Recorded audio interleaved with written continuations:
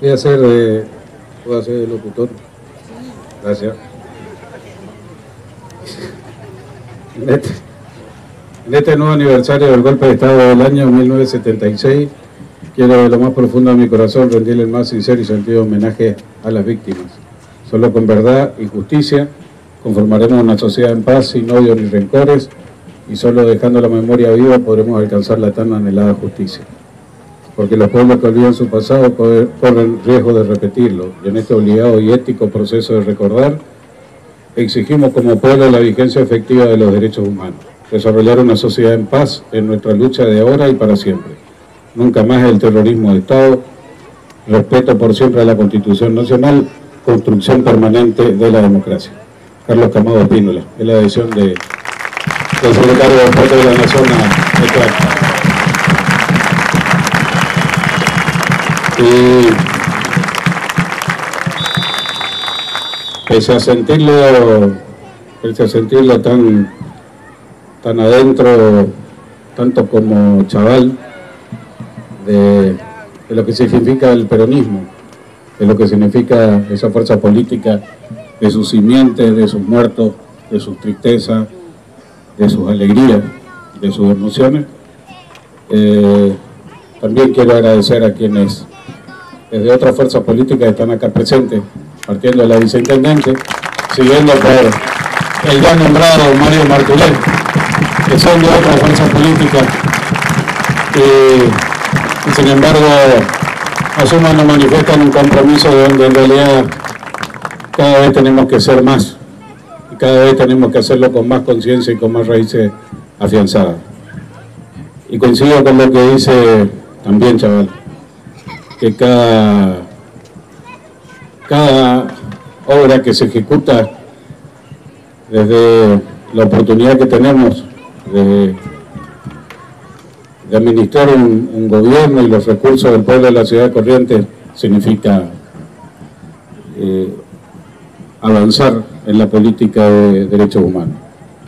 Cada vivienda, cada generación de puestos de trabajo, cada inserción laboral de cada joven, cada cuadra de pavimento, cada cuadra de cloaca, cada acceso al agua potable, significa también la férrea y firme defensa de, de afianzar como política y como como orden de la sociedad a los derechos humanos. Eh, porque en realidad aquellos compañeros, los que están y los que no pudieron estar, eh, luchaban por eso, no luchaban por otra cosa. Luchaban por, por esas conquistas sociales mínimas, básicas, esenciales, de que el pueblo viva dignamente, de que su gente viva dignamente y desde ahí desde ahí, desde esa convicción, desde esa idea, nació el cabal reflejo de denostar y aplastar una generación argentina. Y tiene sentido siempre recordarlo y tal vez en este momento más, porque desde aquella represión que sufrieron, que, cada uno de ellos lleva en su memoria, aquello que se llevó, aquella represión que se llevó muchos compañeros, ese tipo de acciones desde el Estado empezaron cuando empezaron a ocurrir cosas tales como que algún maldito remarcaba un precio de un alimento en un supermercado y la gente no tenía acceso a ese alimento. Desde ahí empezó. Desde ahí se empezaron a afianzar. Desde ahí se empezó a afianzar la represión que significaba que muy poco se lleven mucha riqueza y si era necesario, si era necesario hacer desaparecer una generación de, argentinos, el fin justificaba los medios para continuar llevándose la renta, para continuar llevándose el dinero que debía ser redistribuido entre todos.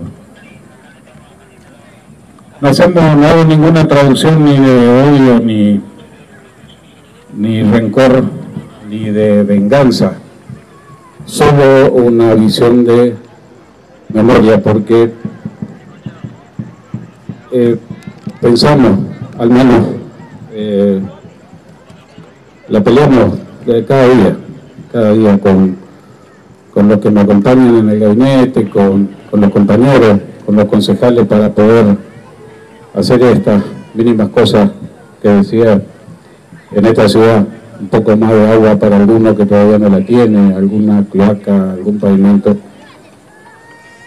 Pero seguramente, seguramente va a quedar grabado eh, muy en lo profundo como la mayor obra de gobierno que haya podido realizar en este pequeño paso por la Municipalidad de Corrientes, ese monumento. Seguramente significa, significa un homenaje a quienes lucharon por cosas tan sencillas como la dignidad, como el poder vivir y, y no los dejaron seguir. En cada eh, Ocharquero, en cada Cacho Ayala, por citarlo al padre Dieguito Ayala, que también anda por ahí, que anda buscando a su papá, en el gabinete municipal. Eh, está el espíritu de las cosas que, que queremos hacer. En cada uno de ustedes está nuestra vida, nuestro recuerdo en el jubilado municipal mejor pago que existe en el mundo, Chengo Almirón. Eh, esta es la historia, es la historia que es lo que queremos para nuestro pueblo, no la queremos en Alemania, no queremos una historia de jubilados municipales bien pagos en Alemania, queremos un jubilado municipal bien pago acá en Corrientes, queremos, queremos avanzar y recuperar esas cosas. Y repito, como último, este monumento dice memoria, verdad y justicia. No dice rencor, odio ni revancha. Dice memoria, verdad y justicia. Por eso peleamos. Muchas gracias. Palabra del intendente municipal de la ciudad de Corrientes, ingeniero Fabián Ríos.